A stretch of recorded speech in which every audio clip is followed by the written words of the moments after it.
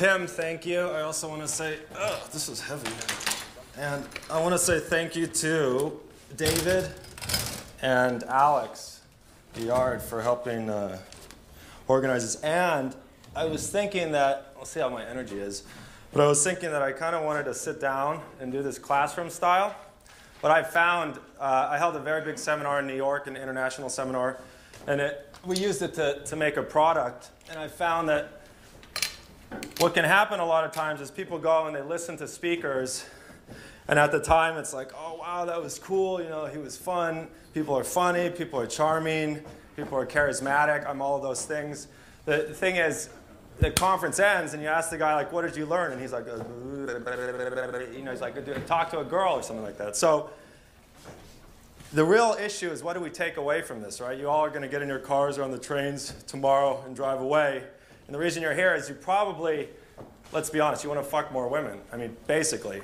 And you also want to improve your confidence. You want to improve your communication. You want to improve all these elements that we talked about in the beginning of the opening. So um, I'm going to try and do this a little differently. I'm going to try and sit for a little bit. Um, because I get excited when I walk and maybe get my blood. And I'm going to host this a little bit classroom style. So I want to encourage people to raise their hand. If I say something that you don't understand or you feel um, is confusing or needs more clarity, and I also know that English isn't the first language of everybody in this room, uh, I'll stop what I'm saying. This is basically for you because I know this stuff and uh, you know, I've done my thing. So this is basically as a teacher and a coach to communicate what works to you guys out there. So I'm here for you, so stop me at any time, questions, and then at the end we'll do a little bit, and of course, you know, in the, in the breaks and stuff. So thank you, Pim, thank you, David, thank you, Alex. I also want to say the other speakers are really good. I learned quite a bit, actually, and um, they're, all, they're all experts in their respective fields, right? So we can kind of listen, and I don't claim to be an authority on, on many things, certainly like I'm decent in bed, but I'm nowhere near the master that Owen and, and his friend are. Is that right? So, you know, I've, I've learned a lot in the uh, opening few hours of this conversation. Um, so, let me, uh, let me look at my notes. Can everyone see what that says up there? Do you know your role? Um, let's see this really quickly. All right, I'm going to ask you two simple questions here. The first one is how many guys are here? This is on, like, there's one girl in the room. I think there's some in the back. How many guys are here because they want to learn how to screw more women? Just put it up. Come on. The guy with the girlfriend is like. um, all right. That's, that's how I got into this business, basically. Not because I wanted to screw a lot of women, but because I was screwing a lot of women. And guys were curious. They wanted to know how that worked. Um, and then I have something really small here that's a little hard to see, but we'll come back to it. Um, the second question to you is, anyone out there know why we're called pickup artists? Why is it called pickup art and not a science? Because you can do it everywhere. All right, you can do it everywhere. Uh, okay, there's no predefined rules. Maybe everyone does it their own way. Maybe everyone has their own tactics. Everyone's an artist. It's like a painter, right? No two painters paint the same way.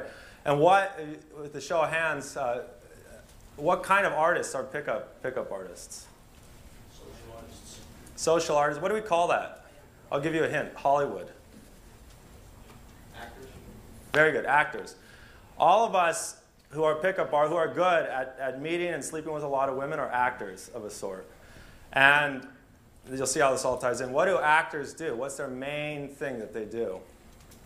Perform.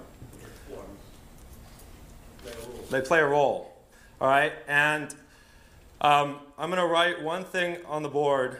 I learned uh, having having given speeches and conferences, it's very easy to throw a lot of stuff your way. But I want to I want to write one thing, and this is basically the whole thing I'm going to talk about for an hour is going to come out of here. And uh, let me let me do this, and I'll turn it around. Hold on. Let's see if I can spell right. Hold on.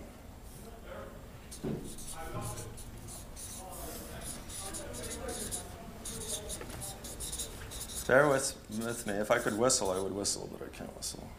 Hold on. Uh, with women. Hold on. All right, now I'm going to spill all these markers when I turn this thing around.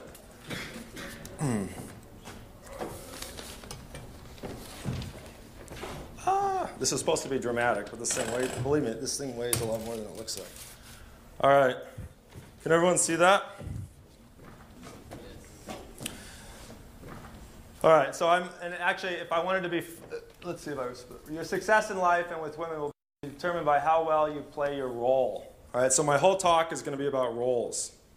All right, um, and I could have added there also how, how well you interpret other people's role. This young female is playing a certain part up here today in the way she's dressed and the way she's groomed. Okay, so she's supposed to, but that's not her whole, that's not her whole uh, reality. And then we've got a couple in the back there. And all of us here, you're, you're here as students, I'm here as a teacher. We're all, we're all playing roles. What I found, what I found is that men's number one problem with women is that they don't understand their role. And they try to, they try to uh, be all things to her. They try to, like, we were talking earlier, we were listening earlier about being a nice guy. So they, they try to bring all their characteristics to bear on the interaction. But really, she's going to respond to you based on exactly what kind of role you have. And the more defined you are, and we'll get into how important this is, not only in pickup, but in sex and relationships, the, the finer points you can put on your role, the more effective you're going to be with getting what you want from her. Um, let me tell you a bit about myself, because this is a, a, foreign audience, and I'm well known, fairly well known in the States, but not necessarily here. Um, I'm 34. I'm an a normal guy. Uh, I've had a series of long-term relationships, about six or seven. I'm currently have a, a, serious girlfriend who's English, and in between those periods, though, I managed to fuck a lot of women, good-looking women that got people's attention, and um, I've had sex with over 200 plus women, and that's just intercourse. I mean, so and this is in between serious relationships. So like when I'm a free agent, I'm pretty effective, and. The, my techniques, and I'm not actually going to spend a lot of time talking specific, specifically about how to do that. I've, I've, exhausted that. If you want to do that, you can go to my website or you can read my books, and that will give you like that. Will I guarantee we have like a, a, get laid guarantee. I mean, I will teach you how to get sex. Hold on. Mm. but I, I can't do a conference if I'm rehashing old material. I have to like I have to do something fresh. So I spent some time thinking before the conference in New York a few months ago and, and leading up to it, like what, what, is really, what is really the one thing that guys don't get right? And the, and the thing is, they don't know how to be, basically, they don't, they don't know their role in the sexual interaction. And, and you'll see how powerful it is uh, when you do know your role. I'll give you some examples. Um, so I was a natural, and I, in, in 2005 I wrote something called Getting Laid in NYC that got, it basically debunked a lot of myths about what you, are supposed to, you know, we say, oh, you meet a girl, you're, you're nice to her, you're supposed to respect. I don't think we need to respect all women, actually, to go against a little bit about the mandate of the thing. I mean, you, you don't want to break the law and stuff, but you can be cocky and a bit of a jerk, too. I mean, that turns a girl on also. So, the, but we have this, like, for, at least in the States, this formulaic thing, like, you're a nice guy, da da da, oh, you're friendly, then we'll take you for dinner, then we, we treat the girl nice, and this and this and this. And then you end up, a lot of guys end up with nothing. They end up with no sex, they're out of money, they're out of time, they're horny, they're frustrated. So I wrote something in 2005 because I would see all these guys and I was like, they're not getting it. So I wrote something and became this huge success. Just as a joke, it was only 17 pages. It wasn't, it was self-published. And then after that, I was invited on national TV and I was written up in magazines and, and I got a business partner, so we built a global business out of this. But that's how it kind of started. Um, and now I live in New York and I travel internationally at times and I'm a dating coach and, and sex coach. Um, and also, let me just say this too. A lot of the stuff I know isn't just myself. I have a buddy who's my age who's had sex with almost 400 girls. So, and he's not even a good-looking guy. He's like a schlub. He dresses pathetically, and he's like he's doing nothing with his life really. Sometimes those guys score the most girls actually because they have the time. You need a lot of time. That's so it goes back to what the guy said. Like if you really get into this business, you'll see like direct is best because it cuts out all the BS. So. Um, what, I, what, I'm going to teach you and talk about comes out not just of my own experience, but sharing methods and, and ideas with some very successful so guys who have a lot of success with women. Um, so, and I also want to say this. It seems, for talking at the break, there seems to be all levels of guys here. There's like some very sweet, shy guys that, I, actually David was saying I didn't kiss a girl he was 33 or something like that. So we probably have some similar guys like that in the audience all the way to some like quasi rock stars who are like tearing through Trojans and Durex condoms like it's going out of style. So we have we probably have the range here. So I'm gonna this this will apply to all you guys out there, not just beginners and not just experts. Um, so let me tell you a story to tell you how effective this is.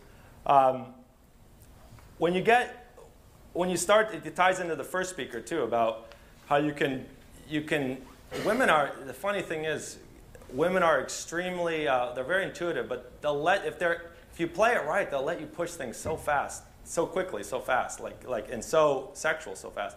I, I was in New York talking to, like, I came up talking to, with a buddy, but he fell out, like, he got blown out or whatever. But tall blonde girl and a girl that looked just like Britney Spears, clearly like very confident body language, owning the place like guys were into. And I went up and, and I wasn't even hustling really. I was just in a screw around mood. And I started talking to her, and immediately I, I, I got the vibe. Less than five minutes after, four minutes after talking to her, I had my hand in her skirt, feeling her pussy from behind. And the reason I tell you that is not to brag, but if you know what your role is going into an interaction, you can have your hand you can have your hand inside a girl in like three minutes, forget, or kiss her within 30 seconds. I just I say that because it'll blow expectations out of the water for some of you guys out there. Like, is that possible? I got to do all. No, you have to communicate very clearly who you are in her life and who she is. Look, we're all well-rounded people who have a lot of facets, but when you're interacting with a woman, you need to hone that down to a very sharp edge so she knows how to play her role. It, a lot of the problem guys have is they're too blunt they try and be like the brother and the provider and the sex object. I hope, I also, um, I may reiterate stuff because from my experience, having, I gave you some of my stats, this is the single biggest hurdle for guys. And everything flows downstream from here. So they'll try and be the brother and the provider and the nice guy, and they're also horny and this and that. And what, when you come that blunt to a girl, what does she do? She blunts you out too. She becomes the sister and the sweetheart and the nice girl and the Madonna and maybe the slut and all this kind of stuff. Um, but you don't meet point to point like, like, a, like a, a horny guy and a sex, sexy girl, sex object to sex object. You don't do that because you're not focused enough because your role isn't defined. So we're going to talk about a bit. But when you have a very defined role, you can move very quickly into a woman's sexual space, like ridiculously quickly. I, I, mean, within like three or four minutes. So, and I'm, you know, like, if not full sex, like, so it's possible. Um,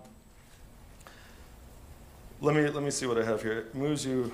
Okay, this is a. I almost wrote this here, but I wanted to keep it very simple, and I'm sure you guys have probably read the literature out there and blah blah blah. The everything hints at this, but this is probably the most concise way to say it that I've heard. Mm when you're interacting with a woman, you're either you're never stationary. You're only doing one of two things. You're moving closer to sex or you're moving farther away. Every decision you make and every minute that elapses when you're spending time with a woman is either bringing you closer to having sex with her or farther away. It's like a, the analogy is a boat. If a boat with a full sail up is sitting on the ocean, it's not just going to stay stationary. It'll be drifted, and if you don't steer it, you're going to smash into the rocks. So a lot of guys don't know, um, and it, everything ties into this leadership, taking charge, driving the inner, whatever you want to call it. If you are not moving the interaction towards sex, then it's probably moving away from it. And she's putting you in a different category.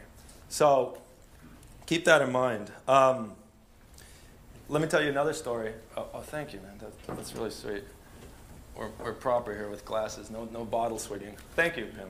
Um, if you, and I'll tell a story in a second, but if you really, we saw the hands in the beginning, like who wants to have more sex with women. If you really want to have more sex with women, you need to know your role. And when you have a role, you're goal oriented, right? Like an actor, that's why I started with talking about a pickup artist is an actor. When you're acting, they usually tell you what's your motivation.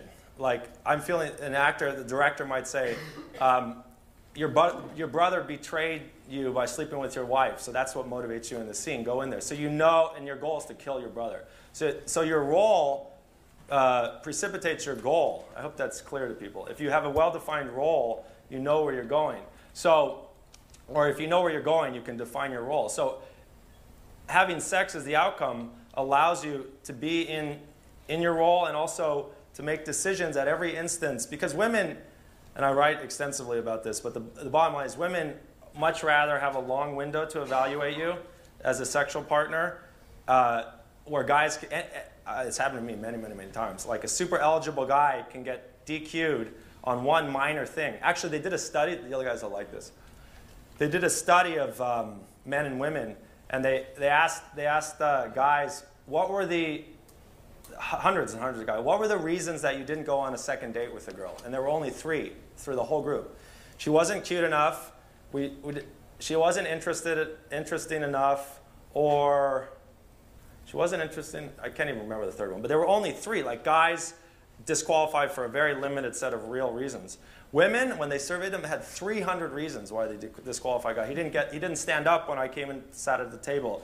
He, he ordered tap water instead of bottled water at the table, so I figure he's not going to treat me well in the future. This, so the point is that women, no, you're laughing because you know it's like. So the point is that women have a very, very nuanced set of criteria that they apply to a guy before they're going to offer themselves sexually.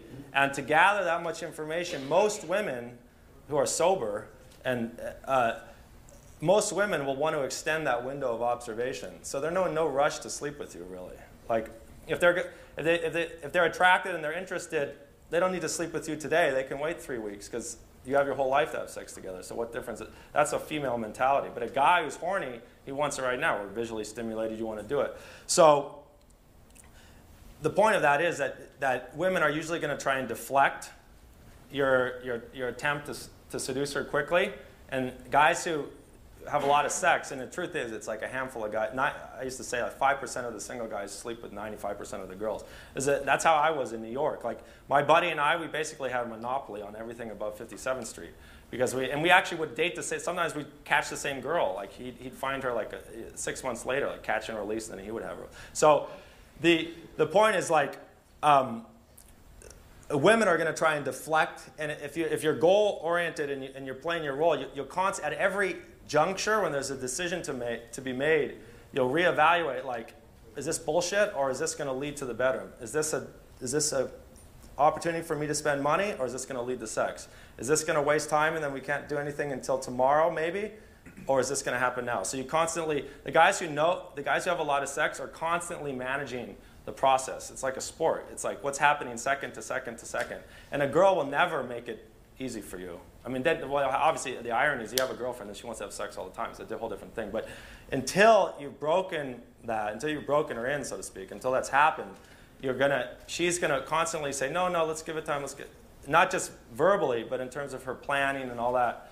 And if you don't have a very sharp point and know where you're going and say, no, redirect, redirect, redirect, you're gonna, you're gonna end up being one of these guys, and you probably have if you're sitting here. I've been that guy who's like, spending money and time and resources uh, not driving the interaction forward. So next time you're with a woman, not a friend, but a woman you find sexually attractive, and you want to sleep with, constantly ask yourself, like, in this moment, what am I doing to advance the sexual thing?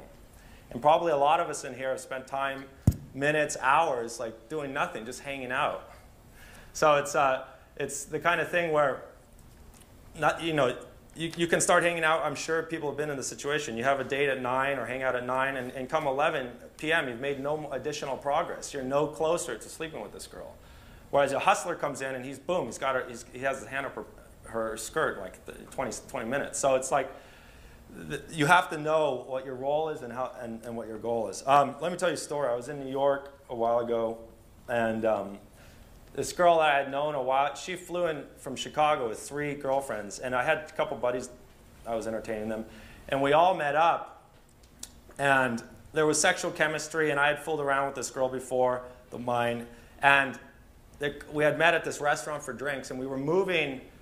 So this is a classic thing, and this is why groups are so difficult. All three of us, all six of us came out, and it's like, all right, now what next, right? A leader has to emerge to say, we're going to do this. Um, and I can tell a funny story that someone in this room will laugh about. But the, the, um, we walked out of the thing and we all standing there, and these girls wanted to go to a strip club, okay? Which sounds like a, it's, a, it's a good idea. And most guys would be like, oh, yeah. But no one, you're not going to get laid in a strip club. Hold on. What you will do is spend a lot of money, and they'll get drunk and they'll get tired. And then the night will come, and they'll be like, oh, oh, it's such a good time. Oh, let's get together tomorrow, you know, and then they'll go. So she and the other guys were like, yeah, let's go. And obviously we're going to pay because we're the guys. And, they, and I said, no, absolutely not. And I, I put my foot down and I said, let's go back to my place and we'll figure it out. and keeping it vague. And I, if you want to get into the technical spot, part of how to do this, we can talk after and you can read my stuff. I mean, I get into excruciating detail about exactly what to do moment to moment. It's like watching a, you know, the World Cup play by play, like what's happening. But that's not what I want to talk about today. And um, she, I said, no, we're not going to do that. We're going to go to my place and have a drink and figure it out. And what happened was we broke in separate cabs, and I got a blowjob on the way going down to my house because I, I knew how to, to, to handle the interaction and I knew what I wanted out of it. And I didn't want to go in public to a strip club, pay money, and have this like be teased all night. I wanted like results. And so because I'm dis- I was decisive in that, in, in that moment and I knew my role and I was sexually interested in this girl and I wanted a certain outcome, I was able to, even five other people, I was able to totally steer the agenda. And you want to talk about confidence and leadership, that's what it is. It's knowing, that's why this ties in so fundamentally. It's knowing exactly who, who you are and what your role is in a given situation so that you can execute, okay? And you talk, I mean, it's not just here, it's in business, world leaders, world speakers, whatever. It doesn't get any good to stand up here and be like, oh, duh, duh, duh, duh, duh," you know, it's, it, all, it also ties in with clarity. If you know what your role is, you know how to communicate it clearly. So um, that's it. Let me see what this says. Isolates and takes a call. No. Isolates. Oh, yeah, I was going to talk a little bit about. Um, yeah, I was going to talk a little bit about how to how to actually have sex, but we can we can come back to this. Um, so, in turn, I mean, setting up the thing. So, let me move on a little bit. Uh, what I was talking about with that Britney Spears type of girl. Right. When you have when you when you're inhabiting a role as an actor, okay, I'm sure there's some shy guys in here or guys like the that's not the first time I've done that, by the way. Like I've been extremely sexually bold, and you know, I've, have I gotten slapped? I've probably gotten slapped. I mean, I'm pretty quick to like if a, you know if a girl's like, hey, but it's um, you know it's cat and mouse. I have fun with them, but and I've definitely pushed up, as our first speaker said, she has a she has a comfort band, so to speak, how he bent it like that. Push up against that, like we're the men, right? In the old days, I, I remember when I was on Dr. Phil, I was talking about being cavemen. Guys have been pussified a bit. I mean, basically, you should know what the law is, and you should, if you're horny, push up against the law. Don't, don't, I mean, don't rape the girl and don't go crazy. But you have a lot, a lot of guys don't take the shot. And then the guys who do take the shot are the one who sleep with all the attractive women, and the other guys are angry. Like women will take a lot more pushing and a lot more, um, a lot more bold behavior than, than probably most of the men in this room realize. And like I said, that's not the first time that I very quickly transitioned. And she knows her body. She knows what it feels like. She's made a decision in the first 60 seconds if she wants her hands, your hands on her. And if you push that, that's what turns a girl on, right? We're animals. So, and, and in the old days, before civil society, before anything like this, it was caveman style. You just grabbed the girls. I'm not advocating that, but I think it, th- this audience could benefit from being a little bit more assertive um, in terms of stuff. And so the question is, why extend your behavior? Uh, how do roles allow you to extend your behavior outside the comfort zone? Because you don't have, it's not you, you're just playing a role. And it, that's a good way to kickstart it. In other words, let me give you an example. You're at a bar or a club or something, and there's a hot girl with a miniskirt, and you're thinking, you walk in and you say, God, look at that ass. It's like peaches sitting up, the fabric falls over it a little so it's away from the leg. You know, all you guys know what I'm talking about. Nice, like, like little goosebumps on her legs because she's a little chilly, into beautiful high heels, and she's leaning forward, and you're just like, oh. oh what you really want to do, you don't want to talk to her, you just want to grab it, right? That's what most guys want to do. Well, you can't do that. But what you can do is you can get into a role where you realize like you're that guy. You're that, that like hustler who's going to go up and take shots that are outrageous and see what happens. So you can, you can just walk up to her and be like, hey, what's up? And stand you know, too close to her. But you know, you've kind of boxed her against the bar and she feels your presence and she's, and, and and we can demonstrate this later. We don't need to. And, and she, um, she gets turned on, and you can be like, you can start rubbing here a little bit and suggestively, and then with your knee on her leg, and like go. You'd be surprised, and I, that's maybe an assignment for over the next. Uh, I was going to say tonight, but we're going to have all these guys assaulting women and knocking. And I don't want to be responsible, but uh, over the next couple weeks, to scale up what you feel comfortable, like like 200%, because I guarantee you, you're not taking full advantage of, of these women. And believe me, they can handle themselves. A hot girl has been put in so many positions where guys are assertive that she knows exactly how to step away to deflect verbally, physically. I wouldn't worry about it. And um, so you go up and start, t- and then you, you can start teasing, and you know, you ask if she's wearing underwear and feel here. So a lot of girls don't, you know, and you feel the, there's no band, which turns you on, right? Because she's not wearing underwear and her skirt's only. And you can play, and the reason I'm saying that is, in that, that's not really you, maybe, but you're playing the role of that hustler. So just uh, abdicate. Uh, people know what that means. Abdicate responsibility. In other words, say, you know what? Um, I'm Jeremy. Jeremy wouldn't do that, but tonight I'm playing a role as Christian and Christian's a hustler who fucks a lot of girls, so he would do that. So allow yourself to get into a role and to go and be uh, more in, in, in assertive both physically and verbally with the girl and, and stretch your comfort zone and don't take responsibility for it because you're just play acting. And what'll happen is you'll be, you'll be like, oh my God, she's letting me do this. Like, I still do it, but every time I reach behind a girl and go in her panties after I've talked to her for like three minutes. And uh, by the way, this girl was having I love this too. This turns girls on so much. She was having a conversation with her friend, and, and so the friend didn't know that I was feeling her up, but she knew. And so it's a little dirty secret, right? And, and, and, and she didn't stop me, and that's a very exciting moment when you cross that line, like past the, waistband into underneath, and you're like, oh my God, this girl, obviously she can feel it, is letting me feel her up in public. How exciting is that? But you can only get there if you, if you play the role of that guy. And a lot of us, in here say, oh, that's not me, that's not me. Well, I'm saying as an exercise, I give you permission to go out and do that. Okay, and you get any shit, come back and, and, and send them my way. Um, all right. uh, so, God, I wrote these notes. These are, these are a terrible way to write notes. There's too many words on this page. You have a, um, let me explain a little bit more if it's not 100% clear. And feel free to raise your hand if you have any questions or you think like, oh my God, this is crazy. Do you really mean this? Um, in terms of how, how roles work. You know why um, you can take an idiot and you can put him on a factory floor on a, assembly line process and he can just go like that all day long stamping out dies or something like that. And he doesn't need a lot of education. He doesn't need to think for himself. Why is that possible? Why can a guy do that without you can take a guy who hardly has a functional IQ and you can do that. Does anyone know?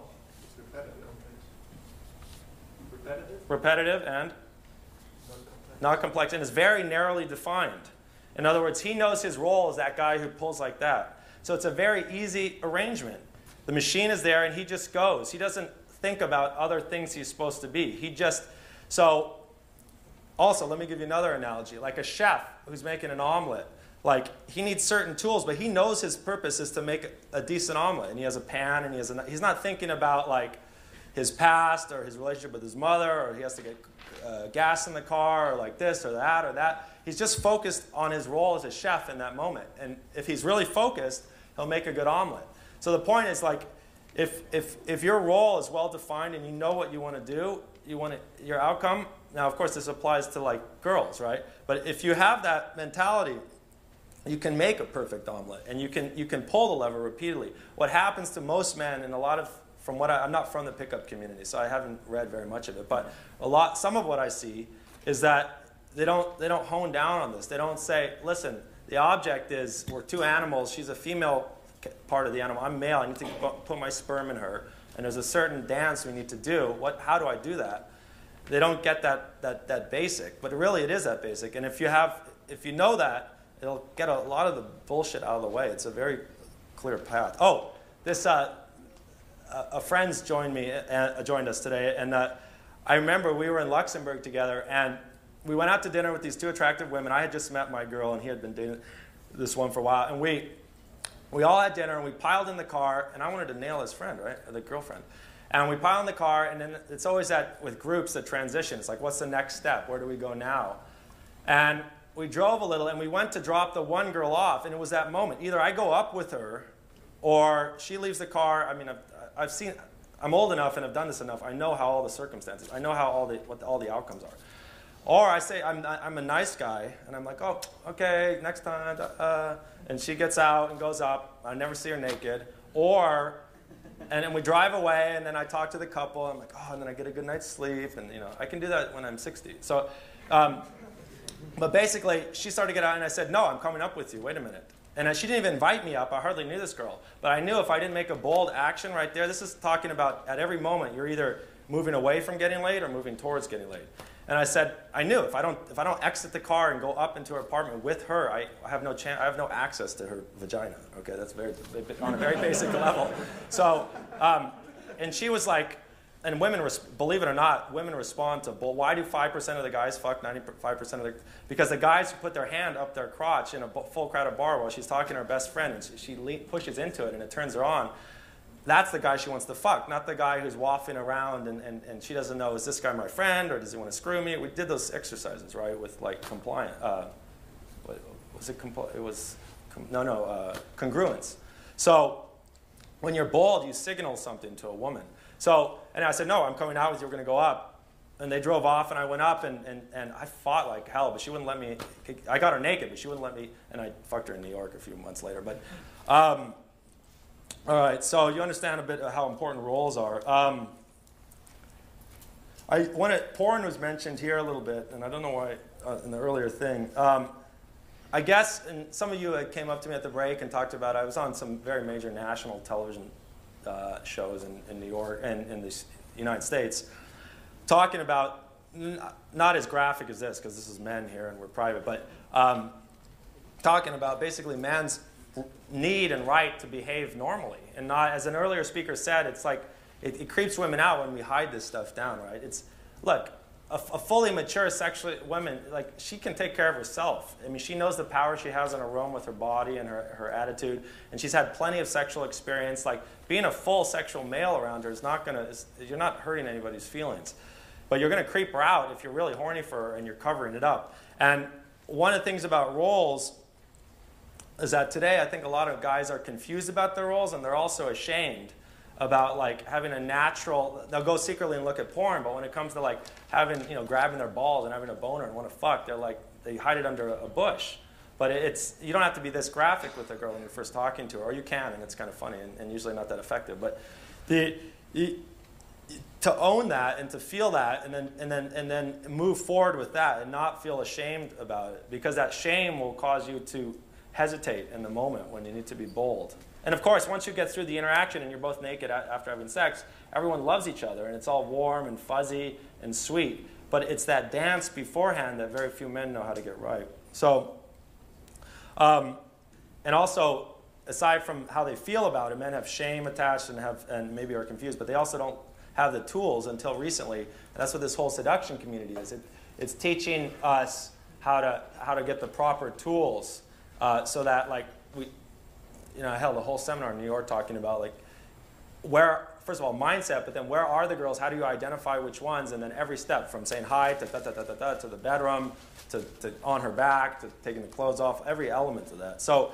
we now have the tools available to actually do this if we want to, which, you know, five years ago or 10 years ago before this whole thing took off, we didn't. So, um, all right, and I want to tell a story. I mean, I've had plenty of failures with women too. Uh, I'm talking some about the successes, but like I learned through trial and error. I mean, I blew it with some ridiculously hot women that I, it's pisses me off. Um, what happens if you don't know your role? I'm, I'm, sure many of you have been in that position. What is it? It's called indecision, not knowing what to do in a given moment. Have you been there before, where you got a chance with a girl, and yet, oh, there we go, hands up, hands up. Everyone, oh, everyone's been indecisive with women. You had somehow you were able to get the attention of this hot girl, and whether it was trying to get her number, or she's out on a date with you, or she's back at your place, and you're not sure if she's, or you're trying to go for the first kiss. All of us in this room have had moments where we're un, undecided. Yes, we'd like to, but we don't know how, and we're afraid. We're afraid of ourselves. We're afraid of how she'll respond. So these moments of indecision, when you don't know what to do, they are all a product of not knowing your role. Let me say that again because it's so fundamental. When you have a moment of indecision with a woman, or actually with anything in your life, it's because you don't know your role in the moment. Okay? So if you know your role, especially when it comes to sex, is to fuck her, you always know what to do. You know what the next move is. If she's wearing her clothes, they need to come off. If she's in public, she needs to be in private. If she's standing up, she needs to be on her back. All these things that basically like can move to this. If she, if you don't know her, you got to know her. If she doesn't give you the phone number, you got to get the phone number. If, if, if she's on the other end of it, you need to arrange so you're in the same proximity. So everything is very clear when you know what you want. Okay, so you first have to ask yourself. Maybe for some of you guys, this isn't it. It's not about screwing a lot of chicks. Maybe, and I'm going to touch a bit because I have a girlfriend now. Touch a bit about relationship stuff. Um, and we, I think this is pretty standard knowledge, but if you, if, you, if you don't know what you're doing with the girl, if you're indecisive, she is going to put you in, in one of several categories. She's going to make you the provider, right? If you're a decent guy and you come present yourself with a girl repeatedly, she's going to, oh, yeah. I have a question. Yeah. How would you define that goal? Well, at the beginning, I, I don't want to talk about too many things, so I'm talking about how to a- achieve a full sexual result with a woman, sex, essentially. Yes, but how would you describe the role of a seducer or, or Oh, okay, good question. The good- the question is how do you describe the role of a seducer? And the answer is it's a guy whose every move is towards sex. There's never a down period. You know, in, in football, they play for 45 minutes, then they take a halftime, and then there's 45. Their goal, their role is to put that little white ball in the net, and they know it. And then at the referee, at the, at the halftime, when there's a break, their goal is not to do that. Their goal is to, to hydrate their body and sit and listen to the coach. What I'm saying, a seducer is someone who has, he doesn't have a halftime. He plays all 90 minutes straight, and he has one goal, and that's to get inside the girl, basically. Um, if you don't, if you're indecisive and you don't, and you, and you don't know your role, which a lot of us probably have lost that, we don't know what we're, we like the girl, but we don't know what the next step is. Yeah, go ahead. What I have to distinguish uh, my um, ist das bald nochmal? I can hear you. Yeah, you go ahead. um, in front of the girl, um, if I want to have sex or if I want to have a real relationship. Okay, which includes sex, right? Yes. Okay.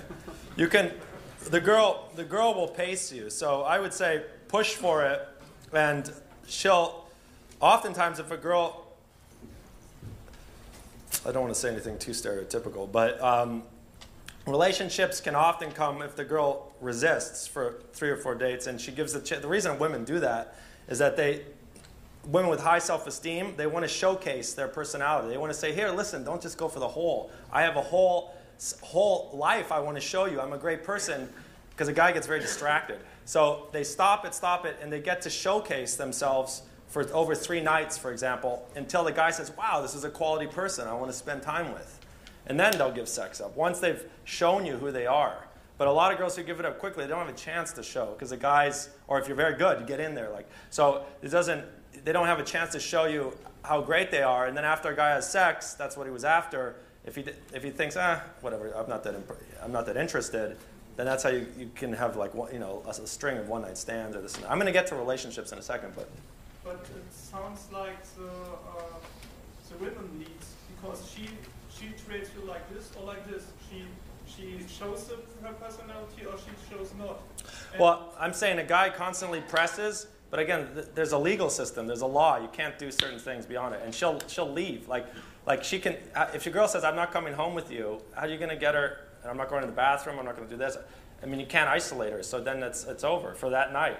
So what I'm saying is, you can press, but she can pace it. She can say, "Yes, I'm interested, but not right now." And often, beautiful girls are very good at pacing. So I, I wouldn't worry about. They'll pace you in terms of if they're interested, they'll, they'll let you push, but they'll, they'll say, okay, not now. I need more time. I need more time. Do we have another question? I thought I saw. Oh, yeah. What, what do you mean by pacing?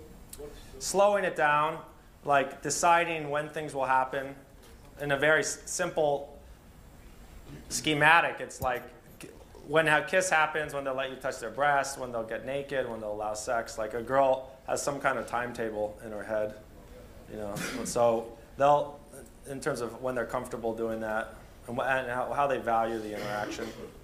So oftentimes, guys who are great boyfriend material have a hard time getting laid because the girlfriend, the girl likes him, and she doesn't want to ruin it by having sex too early. So she'll hesitate. At least in the states, that's the case. I have, I have one friend who's a very good-looking guy. He's a medical doctor, went to Harvard. He's like a perfect. Well, he has a girlfriend now, but he always had a hard time getting laid because girl, girls would, would fall in love right away and say, "Oh, he's going to be my husband. I don't want to give it up too soon." And it's like, ay, ay, ay. the problem for them. So if you don't, if you're indecisive, what happens is the girl chooses, okay, and she puts you in a category. She can put you in a category of you're the one who pays for her.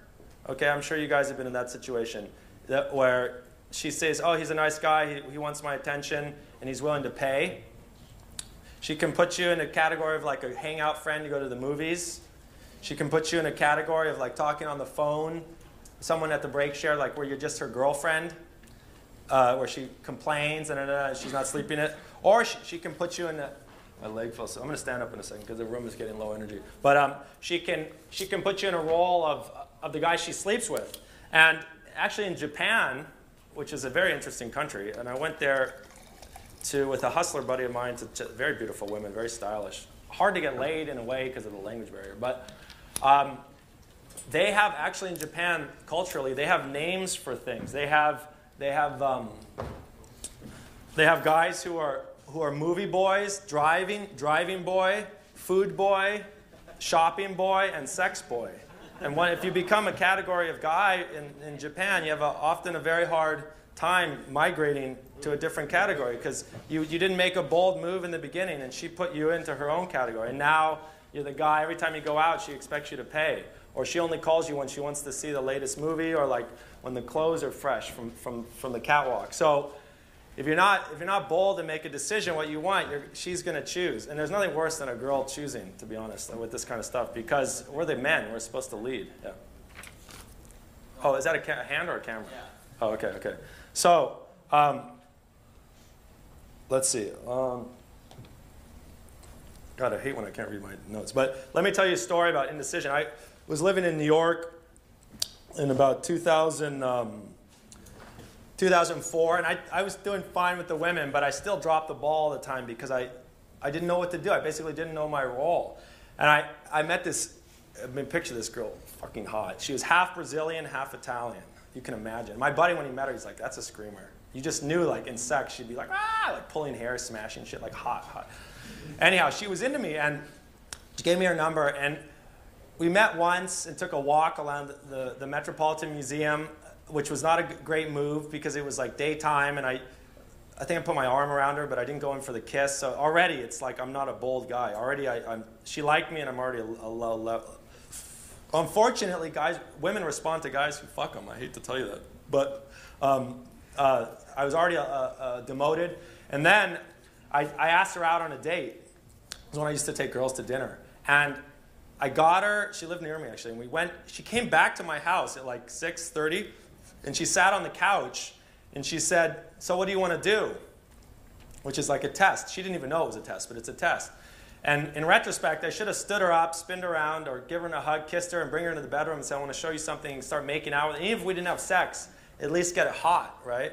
Instead, I said, "Let's go for dinner." And we went. We drove all the way downtown. We had dinner. And meanwhile, at dinner, she's like touching her breasts, and she's saying, she was she had a great ass and like maybe B cup, t- and she was like, you know, I've always wanted bigger breasts. My mom says they're fine. She's telling me this, they're fine. She's trying to make like sex, and I'm eating this meal, this big pasta meal. But by the end of it, I was like so full and tired, and I was like, oh yeah. Uh, and anyhow, we, we got in a cab and, and we drove back uptown, and, and I, we pulled up in her place, and I was like, all right. There was no sexual vibe. It was like two dudes. Like I was tired. There was no there was no energy left, and that's it. She's like, ah.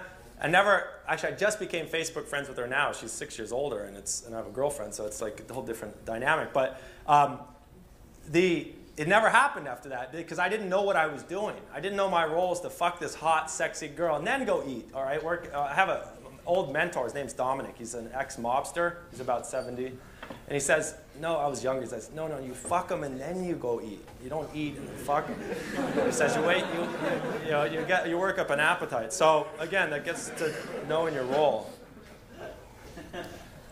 Um, let's see, hold on.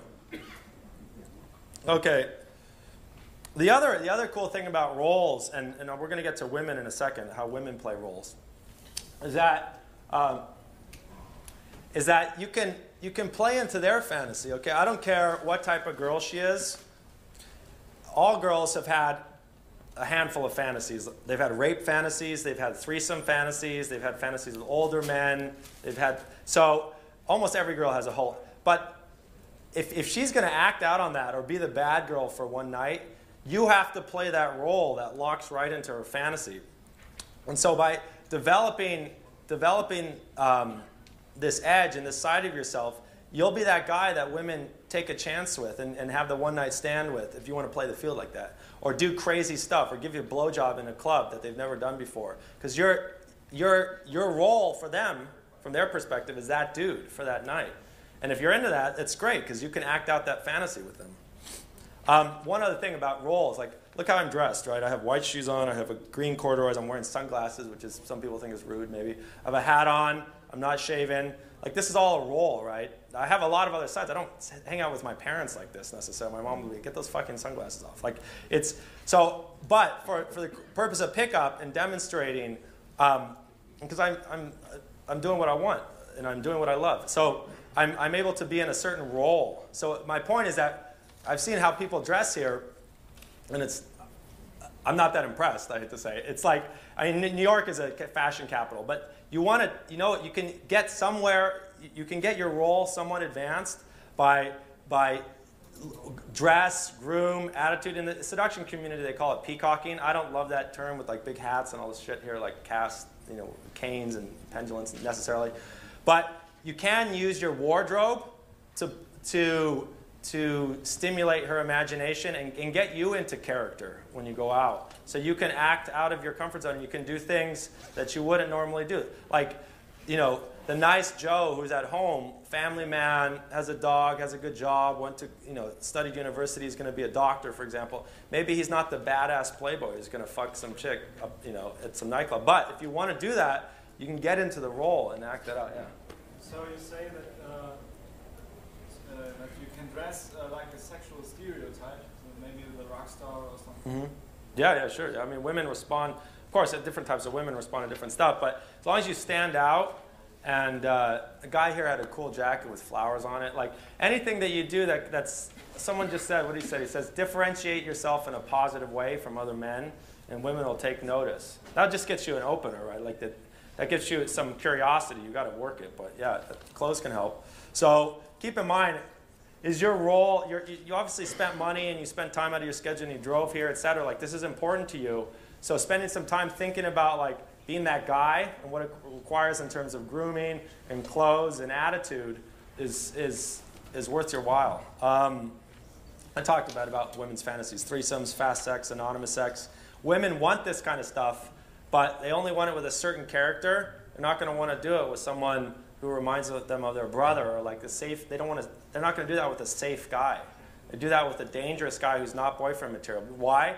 Because if they have if they have dirty sex in a bathroom, for example, or like really quickly, they can do it with a with a not safe guy because they know it's never going to become a relationship. So that's that relationship they can walk away from. If they like a guy, if he's a good guy, they're not going to try that because it could damage the. I talked about this a second ago. Damage the possibility of a relationship. Um, let's see. Uh, and before I get on to to roles for women, because I think this is, and I'm going to talk about mate selection when you're looking for a girlfriend, what to look for. I want to say two things that are, I'm kind of just shoehorning, shoehorning these in here, but since we're talking about roles and being real men, um, the first thing is everyone in here has fear something. Okay, I have fear. We all have fear. But um, you, you need to tackle the thing you fear the most first. If you start tackling things you fear the most at the front, life gets easier. There's a, there's a famous saying, I don't know if it's Buddhist or what, but they say, do the easy thing, perpetuate the hard life. Do the hard thing, arrive at the easy life. So always do the, hard, the hardest thing first, and the thing you fear the most. And I also, people talk about fear like, oh, I'm going to jump out of a plane, I'm going to bungee jump, this and that. That's not what really people fear. The thing that people fear the most are one-on-one interactions with people that are going to get uncomfortable or, or there's a lot of unknown. That's really what people, a phone call they don't want to make, a hot girl they have to approach, saying something disappointing to their parents, calling the bank and saying, I don't have the money for my house, the mortgage. These are what we fear, interactions with other people. So keep that in mind. And if it, it ties into confidence, I wanted to say this. Like, if you work on your fears, if maybe a list of all your fears especially as they relate to people, and just start working through those by just walking through the fear and doing it. And may, you'll see that there's not really, and then it all relates to talking to hot girls because they're just people too. Um, And another thing I want to say, I, just a little anecdote. A guy came and um, to a mentor and he, he said, "Listen, bud, I, I'm I'm, uh, I'm tired of my wife. I don't care. I don't love her anymore. I've, I've kind of lost interest in her." And the guy said, the mentor said to him, he said, "Start acting in a loving way towards her, and the love will return." And I found that to be the case too. Like when we get into relationships, if you um, act in a caring way towards someone and invest in them, the mind is a funny thing. The mind will start to value that thing. So, and you'll see, because a downside of pickup is you become very good with women. It's hard to get into a relationship because you're passing up all this pussy, right? It's like what? It's hard for one girl to compete. That's why rock stars and musicians, it's difficult when they're on the road because a girl, just one girl, no matter if she puts a donkey up her ass or does whatever, she can't compete with all the hundreds of groupies. So it, it's this is a downside to pick up, and I'll talk a little bit about it so we have time. So if you want, no, no, I'm not done. If you, if you want well, let's do this because the energy is low in the room. Let's all stand up. I love this. And let's just stretch for one second. Uh, you, can, you can turn around if you want to, whatever. Okay. Roll your neck. All right, you can. Everyone can sit down. How's it?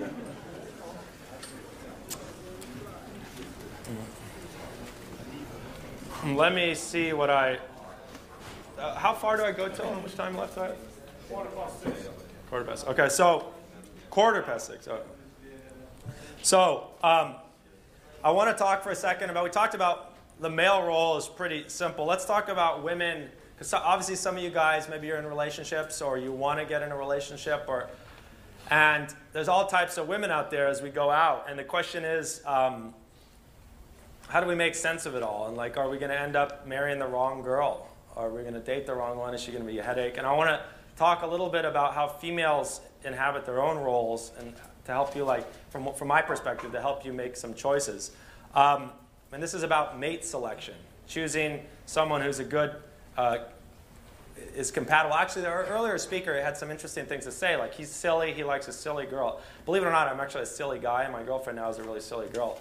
But, um, but I like to fuck like uptight hot girls in high heels from the office with little dresses. So that we'll get to this in a second. It becomes it's an interesting thing. Um, so first, the first type of girl that everyone knows is the friend, okay? And a friend uh, is someone that you don't have sexual interest with, and it actually disgusts you to, to, to, think of like being sexual with her. And uh, how, I'm just curious, do guys in here have female friends? Yes or no? Or female friends?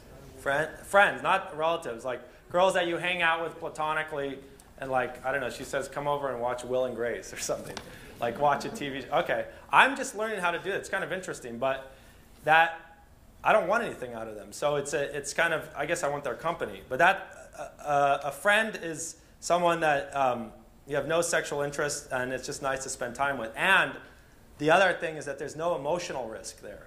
Okay, I'm actually going to get at this see if I can make sense of this. There's some pretty heavy stuff in here in a second about emotional stuff, which is actually where I'm. I mean, I, I learned how to screw a lot of girls. I mean, I, and I wrote a big book on it that's classic, and um, that was my life for about seven years. And it, it's fun, definitely. But I'm moving into a new chapter in my life where things it's a little heavier and more complicated because I want kids and all this stuff. So there's finding the right partner. I'm going to talk about a bit that now. Um, but with a friend, there's no emotional risk, right? She can't A female friend can't really hurt us in a way. She can't disappoint us, she can't cheat on us, and she can't deny us sex in a way that's frustrating.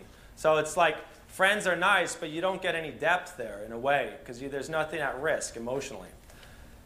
The other ca- category, there's only three categories in my mind. The other category of women is just for sex, and her behavior, these type of women, her behavior, and I, am curious in, in, in Europe, it might be a little bit different. In, in the States, we definitely have this type, and in New York, they're very prevalent.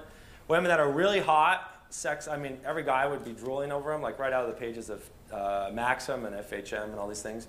But their behavior is so irresponsible and difficult that you could never meet them as a partner because they would destroy you because they, they don't keep their word, they spend prof, in a profligate manner, they stay up all night, maybe they're doing drugs all the time. So what do you do with those type of women that are, turn us on, but they have no, their behavior, if you bring them on board your ship, they're going to sink the ship, okay? I don't know if guys know this type of girl, but they're, oftentimes they're very hot, okay? So you got a problem. You want to screw them, but you don't want anything to do with them because they're, they're dangerous, basically, and they're not sensible. So, and it, it, interestingly, it, it's linked because a hot girl usually, get, um, because she knows she's attractive and she can get, do that and get a guy to whatever, clean up after her, she, she misbehaves, okay? And in my book, there's no, I don't care how hot she is. Uh, what you do in that situation, you put yourself in an environment where there's a lot of hot girls, like New York City or, or um, I don't know if Berlin's that way, or London, uh, or Moscow or something. And then you have very strong terms so that she, her behavior is checked.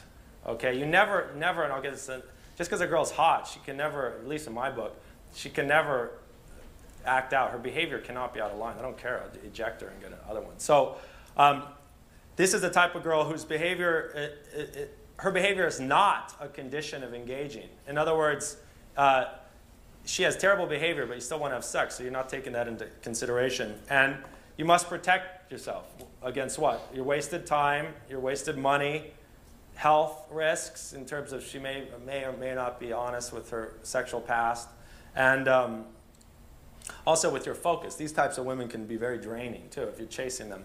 I don't. uh, Let's just maybe I hope I'm hitting a, a nerve here, but maybe not. Who, who in this room has chased a hot girl who was difficult and wanted to sleep with her, but you couldn't couldn't get it done? And she was she was impossible. She broke plans, for example. You made arrangements. You made a res- you spent some money or hotel, and she said, "Oh, I can't do it." Okay, thank you for admitting that. I'm sure that's happened to many guys in this room, but. Um, those type of women, and, and I think a lot of young guys make the mistake of choosing someone like that for a girlfriend, okay? Because they think, oh, she's hot, the sex is going to be so great, and she's, she's on my arm, and this and that stuff. And this girl proceeds to destroy this guy's life, slowly but surely, by making him give up his terms. There's a, there's a very famous thing that I talk about often, and it says, um, if you actually, aside from this, if you take nothing else from what I'm saying, this would be it. It says, a man is devastated when a relationship ends to the exact degree that he compromised his terms. Does anyone understand what that means? But what does that mean? You can put it in your words. Yeah, it means if you, um, I don't know, give something up, your life, you change your way, you are, uh, you're living your life, and that's what you miss at the end. Yeah, exactly. Something you lost over the way of the relationship. Right. The girl's not a problem. What we lose is we lose integrity because we gave something up that we cared about. So my real, that, I'm not talking about in a real relationship, which I'll get to say. That's different when you negotiate changes. But when you're just trying to have sex, you never want to do that. It's always, believe me, I've turned away girls who weren't cooperative right at my front door. Hot, hot girls. But because they wanted me to give something of myself up that I didn't want to give up, the sex isn't worth it. Okay, you can spend 50 euros and get laid in Amsterdam. I mean, it's much better to, to turn her away because she's not going to just take a piece of you. She's going to eat into you like a, a, a, a corrosion. So you're exactly right about that. Um, so, but young guys make that mistake often because they, they, she's a hot looker, and um, they try to tame this type of girl. You know, I've tried to do it too, like the nightclub girl, the party girl, the girl that every guy's trying to sleep with, and she plays. Just be careful with this type, but also realize that you can have sex with her, but don't, don't in my opinion, don't try and make her a girlfriend because you have to enjoy her in the context of her lifestyle. A, a, a narcissistic, ego-driven girl like this, and I've been a guy like that. Okay, uh, is going to be cause a, a lot of damage to you, but and it, I'm not going to do it here, but I teach you how to sleep with these type of girls on your own terms and my other stuff because uh, you can enjoy them physically without risking emotional and financial terrain. And if anyone in this room is, has had uh, one night stands or, or you know, screwed a lot, the way you can tell if you feel emotionally safe with a girl is if you can fall asleep with her right after you've had sex. If you, if you sit and she's lying there with a new girl and you're, you open your eyes and you're, you're kind of like this and you like you don't want to fart in bed and you don't want to do these kind of things you're not comfortable then you don't feel emotionally safe. And emotionally safe is a relationship which i'll get to in a second where you can, um, you can totally be yourself. So one of the highlights of girls who are like this and that are just used for sex is that they're not emotionally safe. Okay now let's talk about relationships. In a relationship okay she has to i mean the truth is there are a lot of girls that are you know, in the world, there are plenty of girls that are sexually attractive enough above a threshold, okay? I don't know, what, however picky a guy is, there's still thousands of girls that he'll screw. So you want to choose girls that are above your, your threshold that you find attractive. But actually, funny enough, I mean, I've slept with models and, and actresses and even like average girls. It's not a lot of correlation to how hot it is in bed. Like some, some totally normal girls are much hotter sexually than a tall model who's like self-conscious and like worried about stuff and, and you know. So it's it actually the sex act is not correlated to how well good looking a girl is. But um, when it comes to relationships, choose women that are uh, meet your threshold looks wise. But after that, it's all character. And what I found myself doing when I was swimming out in a sea of women is that I, I was I didn't feel that these women had strong character.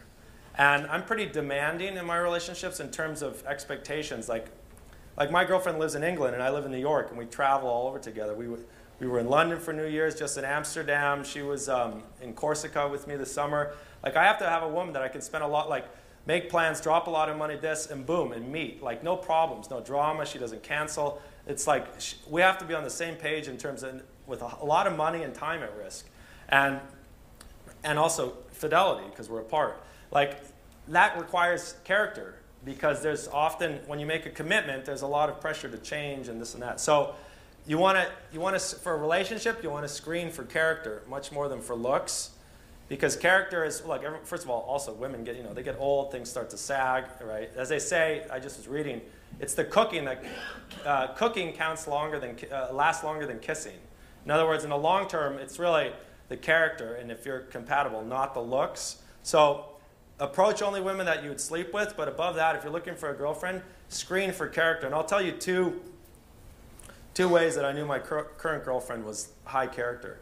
Um, one is that I, when I first met her on our, our first date, I tried to get in her pants, I couldn't. Our second date, I did get in her pants. I didn't sleep with her, but I got her naked more or less. And I had told her a fake age uh, it's a 29 or something, and a fake name because at the time I couldn't go around New York with my name because all these girls recognized me, and I was still sleeping with a lot of girls. And, and when I used my real name, because I was on all these TV shows, I was getting blown out a lot. So my buddy was like, use a use a street name, and so I, so I told her Christian, and we were in bed, and she she first challenged me on my age. She thought I was younger. I'm 34, but she thought I was like 25, and I said, actually, no, I'm I'm older. And let me tell you something else. My name is not is not Christian. It's Paul. Let me explain. And she flipped out, understandably. She had been very, she's a quality girl. She had made herself sexually vulnerable. And I had lied to her. And she withdrew. And she said, I have to leave here. I've got to get out of here. She'd felt very uncomfortable. It's betrayal. Well, she wanted to borrow, she didn't have any money. And it was late at night in New York. And it's, she lived on it. So I, I, I gave her 20, and I was very strict with money at the time. I still am. But I gave her 20 bucks. And I said, listen, I know you're pissed off at me or you don't trust me at all, but this is a loan. A loan? This 20 bucks is not a giveaway. I want this money back. You know, even if we don't see each other, I was still, and she was like, totally creeped out, but like, okay. And she left the building. She, we corresponded via text a couple days later, and she said, listen, I'll meet you because I owe you the money, but that's it. And we met, and she made good on the money. In my experience, very few women have that skill. In other words, once they are emotionally angry, most women don't honor their word. I've had plenty, plenty examples of women saying they're going to do something, and then they just, oh, don't feel like it. I feel a little creepy. And, and then they just totally, you could have spent a lot of money and time and everything making arrangements, and they'll walk right away just because they don't feel like it. That, that's a feminine quality. Men don't generally do that, right? We say we have our balls and our word. We're going to honor our word. Well, the fact that she honored it, and even though she didn't like me and she didn't trust me, but she had said she would, told me that when she says something, she follows through, that's high character, which means I can trust her and I can make plans with her. I can make decisions based on her word being steel. It's an anchor. All right. When you screw a lot of hot chicks, there's no anchors because they don't. They're not reliable. So, uh, and the other, the other uh, example was we were having. I used to. I used to share girls with buddies of mine, like other players. They'd get an inventory and they'd be like, "This girl loves to do it," and we would swap girls. And um, the women in the back are like, "Ah, creep." No, um, no longer. No. I, am a nice monogamous guy now. Um, but I was with my current girlfriend at the time, but she was just in, in the early stages. And my buddy came by to kind of say hi and check her out. And he started being kind of very insulting. In other words, he said, she was in bed with me. And he stopped and he's like, oh, I'd fuck you. Yeah, I'd do that. And it's like, when he's just very rude to her. And she's young girl. He's much older and very, he's very experienced. And, um, she put up great in a very graceful way. She'd put up boundaries and didn't let him treat her that way. Like turned it. I can't remember exactly what she said, but she turned it right back at him, and he looked like the asshole. But she was not even vindictive. She was graceful about it, and I saw that she could protect herself. She had enough self-esteem to protect herself. So on that, plus that we just enjoyed each other and we laughed a lot, and she's a great girl, and we had great sex. But those type of few things about her character really set her apart from the dozens of girls I was screwing. So and that allows me to have a functional relationship uh, with a woman. So I just want to, guys out there who are looking for more than just sex, you know, approach girls that you find attractive. Uh, and by the way, in a relationship, you know, girls, what am I going to say? I, basically, relationship sex turns out to be not so much about, actually, hold on, I, I talk about this. Yeah, it turns out to be a, a lot more about how you feel than, than is the girl like the hottest thing on the block. In other words, you're like lying in bed after breakfast or like when you wake up and you're feeling happy and close and you have an erection. Well, you just want to put it inside her and start having sex. It's not as objective as the dating scene where you're hunting girls. So it's a relationship sex is, is oftentimes very different than, than single sex. And so uh, it, as long as, as, as she meets your, your threshold for attractiveness, you're going to be okay. Scream for character to save a lot of problems. And I was going to tell another story, but uh, oh, yes. I have a question. Yes, Pim. What I'm curious about, how did you steer it around from the negative? She perceives you as a negative guy. Yeah, yeah. How did I turn it around? Um, I, I gave her in, sell, in marketing and selling, we say reason why. Mm-hmm. And I, I, I, people will believe a lot if you tell them why, the reason why. And I said, listen, I betrayed your trust. I don't expect you to, you know, stick around. But the reason I did that is that I've been on a lot of, I'm in a tough position because I want to, I feel, maybe women feel, I feel that they may be entitled to know all about my background, but very few women can engage. Well, actually, I get some girls who just want to, I used to get girls who would just call me to have sex because they see me on TV and they want, but there, a lot of women, as soon as they found out that I've slept with all these women and that I've gone on, they protect themselves. They won't engage. But I, and I didn't, I felt that's not fair to me. Like I want to still be able to be to date freely. So my so I have this background, I have baggage, and it, I had to use a different name. Like you know, like I, I said basically, like Prince has a stage name or something. It's, it's like an entertainer name when I'm out hustling. And oftentimes these relationships don't go anywhere. It's just sex. But I came, I saw that I liked you, and I wanted to get honest, and now we have this situation. And she thought about it, and then very slowly, I didn't sleep with her actually for several more dates slowly. But we, we, we, uh, uh, we, that was an interesting sound. Can you duplicate that? that came out of your mouth, right? Um, so let me, uh, I know this is like classroom style and I'm kind of didactic here, but uh, instead of walking around, I'd rather focus on this. Um, let me also tell you about looks and my experience. I used to like really trashy girls, okay, like mini skirts, too much makeup. They look like they just been sucking some guy's dick. And uh, I, I, uh, just dirty, trashy girl that turned me on because their sex was so. And that, it's a great book, Sperm Wars by Robin Baker. He talks about why loose women are appealing. But there was something very, I felt very attracted to like trashy women. And not to say I don't anymore, but I, I realized that there's, it's, a trashy girl you can only fuck once or twice and then you get tired of her. And it's like, at least me, I don't want that around a, a classy girl, class, and I'm talking about like Jackie Onassis, uh, maybe Princess Di, maybe um, Marilyn Monroe, these type of icons. A woman with class remains sexually interesting for a long, long time. So part of my journey is to move away from trashy girls and kind of, like my girlfriend now is very classy. And I, I try and reinforce that behavior realize that classiness actually is, and probably some of the older gentlemen in the audience will understand this more than young guys, because you know, young guys and we're raised on internet porn, it's like you just want to see the tits right away. You know, see, but there's something to a classy girl that you can keep going back to sexually, whereas you can burn out a trashy girl like after two pops. Men are driven by novelty. We're very turned on by novelty. Like if you go to strip club or any, like Playboy, right? We don't have the same issue every every month. They change the girls because it's exciting to us because it, we, basically it's biological. We want to spread our seed to as many girls as possible. So novelty means a new girl where we can spread our seed. That's how it comes from. So um, we're drawn to novelty And a girlfriend doesn't really have that. And she also doesn't have her light on. Single girls have their light turned on, meaning I'm available, like, look at me. They dress provocatively. A girlfriend doesn't need to do that because she has a guy by her side. So I'm also learning to not see some hot, this is the other consequence of pickup. If you get good with women and you can pluck them and nail them, so to speak, you see, you see you're with a girl and you watch. I used to not see girls outside the bedroom, by the way, because uh, my buddy in New York, he's, he's my age, he slept with 400 girls. And, uh, or almost like 380 something, he keeps track. He won't leave the bedroom with the girl. Why? Because if he takes one girl out that he's had sex with, he feels totally inhibited to talk to the new girl. So a hot one walks by and he feels restricted. If he talks to her, this one gets pissed off. If he doesn't anything, then he's like, fuck, pissed off at this one for restricting him. So he basically just has sex with them and then goes out as a, as a lone ranger to get new ones. Well, I'm not in that position right now. And so I'm with my girlfriend and I see, I notice other girls and I compare and this and that, which is not helpful. And I, I have to realize like these women oftentimes are, are strutting their stuff because they're trying to attract male attention. Keep in mind, girlfriends and wives are not. So this is for the guys who are in relationships and thinking like, uh, uh, is this right for me? Is this not? And, and for pickup artists, if you really hone your skill, and I don't know how much time we have, but I wrote the top 10 reasons to get out of. This was published on Cliff's List, which is. I don't know if anyone here knows Cliff's List, but it's a big. It's one of the original seduction posts in, in, in the, in the U.S. And I wrote, this was a very popular thing, I wrote the top 10 reasons to get out of the game. And it's a lot harder than you think. Like, you're here to learn how to screw women and, and, and be the man and go in and get the hot ones and get them naked and all this stuff. Okay, great.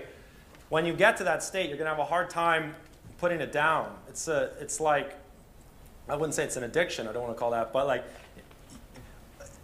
it's going to be hard to focus on one girl when even if you care about her, when you know you can have new ones relatively easy. So just know that when you get into this, if you flex, if you get this muscle really strong, it's gonna it's gonna be a challenge to transition to monogamy. And as far as I can see, I'm the only guy who's been able to do it. Like I was talking with one of our first speaker. Maybe there are other guys, but a lot of them have weird situations. In my opinion, it's like girlfriends like bisexual and they're doing threesomes, and it's not like a.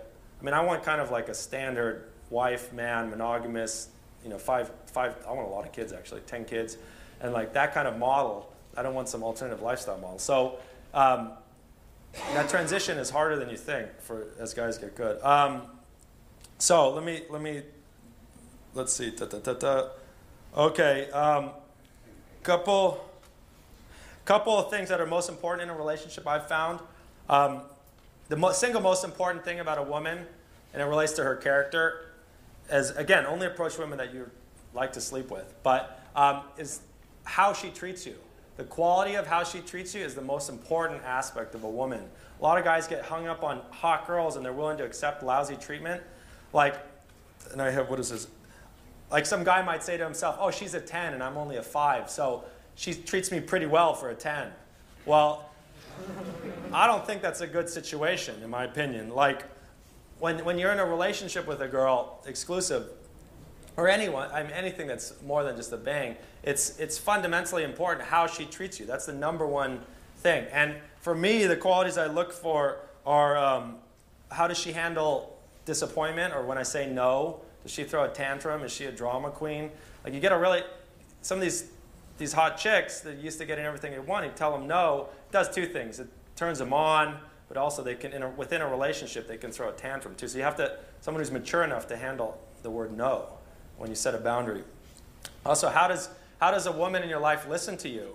You know, you, you've all been to these clubs where the girl's like, yeah, uh-huh. They're chewing gum. They're like, oh, yeah, sure. And they're looking around for the next hot guy. Oh, yeah, okay, cool. And, and like that, and they're not paying attention. Like, for me, it's very important that the girl's like, though, that type of girl, like the club girl or the little hottie, impatient, looking around, she's multitasking. She's like texting. Oh yeah, sure, yeah, I'll hear you. I got it. Yeah. Like listening is one of the most crucial things we do with another human being. And for me, a big test with the screen for a quality girl is like when she when she listens, does she stop what she's doing? Is she looking at me? Does she um, does she hurry me along, or does she patient for whatever I say? And is she looking at me and not looking around? Like the quality. This is very important. The quality of how a woman listens will tell you a lot about her. So, and a lot of these hot, you know, think that the cat's meow type of girls are not good listeners. So keep in mind that try and nail them, but be careful about bringing them on as a, as a, as a partner. Um, and as I said earlier, the, the, the, um, the way to, to test for emotional safety is, is uh, how well you sleep next to a girl. Like, can you fall asleep right away? And if you don't, if you feel like there's a little bit of a stranger in your bed, which some of you guys will feel as your skills get good and you're having sex with a lot of women, that's because you don't feel emotionally safe. And I know it's not cool and sexy to talk about emotions and a men's thing, but the reality is, like, women aren't going to hurt us physically, generally speaking, unless you're Wayne Bobbitt. I don't know if you guys know who that is. Or, and you can learn some very specific techniques to protect yourself financially, but women can hurt us emotionally by betrayal, disappointment, us liking them and, and, and them fading, all these kind of things. Obsession, obsessing about girls. So these are all emotional risks. Um, and I, am almost done, and um, I might just list those things if we want, and then I'll take some questions. Um, yeah, again, this all ties into role because it's, it's like, what do, what do I want? Well, right now, the way I'm looking, yeah, go ahead. I have a question. Yeah. What can we do to protect ourselves from this emotional? Do, yeah, do those things I told you. Um, see how she beha- see how she handles her word. Like spend some time before. Like if you can learn how to, and I'll talk. I used to be a cold-hearted bastard. I mean, part of the reason I was good at sleeping a lot of women is I was I was emotionally damaged myself, and I'll talk a little bit about that. Like I was able to shut it off. And women, unfortunately, women go crazy for a guy who's shut off because they're trying to get trying to access you emotionally, and they'll give you sex to do that. If you're shut off, it's, it's very powerful with women. But I don't want to live my life that way. And um, so you can have sex by being shut off, but before you um, really invite a woman in and trust her, uh, you, you want to test her. You want to test that she keeps her word even when she's dis- angry at you and disappointed. You want to see how she listens, and you want to see how she responds when you tell her no. And if she responds maturely in all those, you've got a, a good girl on your hands. And um, you also want to, like, I'm 34, my girlfriend's 22, I want a big family. So my combination, this talks about roles. What is my goal? I have kind of an idea of being a leader of my family, a king of my castle kind of thing. For me, it's important that I have someone of very high character because I, I, I want to live, I lead a very dynamic life. I travel, I, I make good money. I have a lot of friends. Like I need someone who I can rely on. Like a flimsy girl is going to break down underneath me pretty soon. She's going to have her. Basically, she's going to have issues that cause her to just collapse because she wants. So I need a strong woman of high character, and I want her young enough that she has a lot of childbearing years ahead. At 22, she can have a lot of kids, and that's a hard combination to find. And attractive, good sex. Like a lot of women become mature by the time they're 35 but and they're young when they're still hot and they can get what they want. It's ego. They don't develop that side, so they're very their character is very weak, and so it's hard to trust them. So um, you have to define what you want out of the interaction relationship. Um, last thing here, you know, w- one reason why am I talking about emotions? To, to one degree or another, everyone in this room is emotionally damaged. Okay, we, we none of none of us are perfect. Whether come from divorced parents, Parents die, parents were abusive. I don't know if this stuff is talked about in German culture or not, but in the States we talk about this stuff. People, everyone has emotional baggage, okay? And they've had loss, and they've had grief, and they've had betrayal, and, and, and a lot of guys I know that are very good with women are the most fucked up, unfortunately, because they've been emotionally damaged to a degree where they don't feel and when you don't feel, you don't have approach anxiety. You can come up and I can just put my hand in a girl's vagina, like right like that, and I don't have anything blocking me because I can do it really. I don't have any voices or any hesitancy. So I was, when I was probably, I've had a kind of a crazy past, but when I, I'm healthier today than I was a few years ago, but a few years ago I was really effective with women. As I get healthier and my heart opens up and I'm more, I'm nice, like our last speaker, and I'm generous and I invite you and I, my ability to hustle girls drops a little bit. So there's an, there's an element of that. I don't know if that resonates with anyone or if they've seen that in speaker. I mean, this guy Mystery is probably he's got his issues, obviously, right? So, but it, he, he, it makes him good at what he does, and I don't even know exactly all his stuff. But it's like the point is that like what I've seen is real good hustlers often have an emotionally damaged side. Now, we can heal through connection with a, a if we're heterosexual, it's through a connection with a, a, a wonderful woman who's patient and we share with and we trust and we start to trust ourselves and trust her and build some of that back. And that's kind of the journey I'm on. You know, Frank Sinatra has a song called The Wee Small Hours of the Morning. You know Frank Sinatra? Do people know him? He's a great crooner from the States. And he has a song called The Wee Small Hours of the Morning. He, he has a line, he says, When your lonely heart has learned its lesson. And he's talking about running around sleeping with a lot of girls. Well, I came to a point where that wasn't doing it for me. As, as I, as I, I don't share here, but I think I, I got to a point where, uh, and this is going to sound graphic, but I felt like I was fucking corpses. In other words, the bodies, the heads changed, but the bodies were all the same. And I, and I didn't feel anything. And I, it's because I was very good at what I did, but it was, it's not how I wanted to live. So I made some changes and I, I pulled back. And this girl, right at the same time, entered my life. And I said, because of her character and because I didn't sleep with her right away, I, she got my attention. And I gave her a second look and a third look and a fourth look. And then I said, wow, this is a quality girl. I don't want to walk away from this. So, um, and she, you know, we had a great, she was very interested too. So, because I come from a different spectrum, she's a very healthy girl with a totally different background. So, um, so anyhow, that's why emotional safety is very important in an emotional bond. But you only want to extend yourself emotionally with a healthy girl, or else you're going to be very hurt.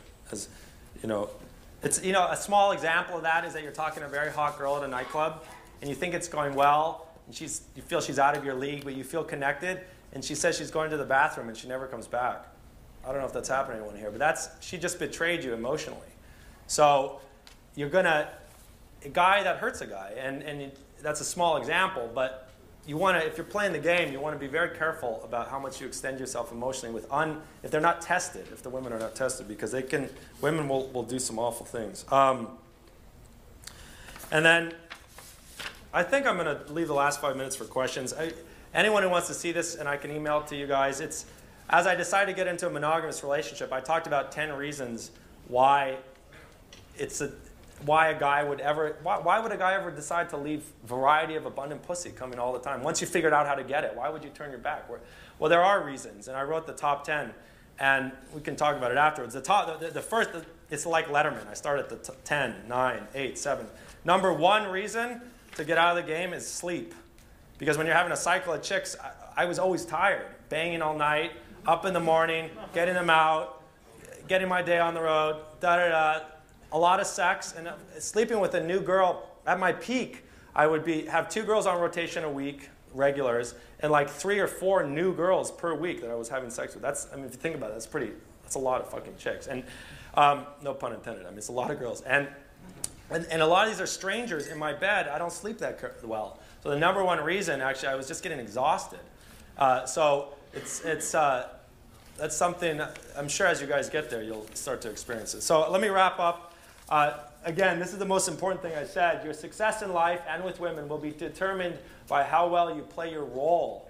So know your role, and we're talking about sex and women, but know your role at work, know your role with your parents, treat them well as a good son, know your role uh, to your, to your role as a citizen is to pay your taxes. Everyone, you have roles, and when it comes to women, if you don't, if you don't do it properly, there's a lot of shit that comes of it. So um, we have a, probably two questions. If we have two questions in the audience, we can, yeah. Um, I'm interested in the role of the hustler, Mm-hmm. but that role fits not very well for me at the moment. How can I learn to play that role? Buy my stuff. That's a very blatant thing. Go. Um, can you see? Where's that? Do we have a guy who could? Ow, my leg fell asleep. Yeah.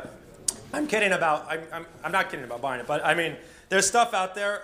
I I haven't met a guy who's in. Uh, we lost it, but can we, Alex? Is there a way to get that website up? If you go here and you um, and you uh, look at the stuff I've done, you read Getting Laid in New York, read Attraction Formula, watch my New York seminar. I'll take you right through it, every step of the way, like furniture, furniture placement. If you're sitting by side and her leg, your, your knees come up here. What do you do with your hand? How do you, right? You can only reach a girl's vagina if she's standing up or if she's on the back. If she's sitting like that, you can't get in, right? So I talk about, I know I spend time talking about the, the body has to be straight. You think it's funny, but it's not. Like, or, um, you know, this, this is a problem with getting action. A belt, right? I used to go, I'd get the girl worked up, but she hasn't felt my dick yet. I go into the bathroom and whip this off while I piss because when a girl's horny, if, if in her head she's thinking, I don't want to, she's not sure if she wants to have sex. Well, this, like this, tells her, oh, oh, red flag, red flag, sex, sex, sex, sex. If you don't have a belt on, she can just reach down and then she touches a hard, and she, oh. So it's, these are very technical things that'll teach you how to, I mean, that's just about the logistics of the bedroom. But, but that's, that's how much detail I go into it. And then um, I have a whole video of picking up tons of girls you can watch. And I, it's actually the thing I'm most proud of. We shot it in Texas because the laws are different. You don't have to get their signature release. So the girls never, to this day, they don't know they've been filmed because I only have to sign off. In New York, it's dual signature release. But in Texas, so we flew to Texas, hired a camera crew. I was wearing the same shit, actually. Mic me up, and went just on the street. And it got rained out, actually. It was only a day. It was not even, it was an afternoon and one morning. But I, I got a lot of numbers. And you what I did is I watched these again and again. Why were these girls giving me their numbers so easily? And I watched body language, what I said, and I, just like a, a, coach will watch a tape again and why is that play working? He passes the ball, rewind, he passes the ball. Mm. And I made a lot of notes underneath it, and I was like, that's why that worked. Stuff I hadn't even realized. Like, there's a reason she's responding, and it, it might be the way my shoulders, or if I, or it, it's all mostly verbal. I mean, body language is some, but it's the way. Uh, there's a lot of detail, but I go through exactly why this is working, so, so that you can do the same thing in your own life. So go to this, yeah, go to this website and you can see that'll teach you how to be a. If you take that, add water, bake it 90 minutes, you'll be a New York New York hustler. So we ran a bit over, Pim. I'm sorry. Uh, that's my uh, concept for today. Roles.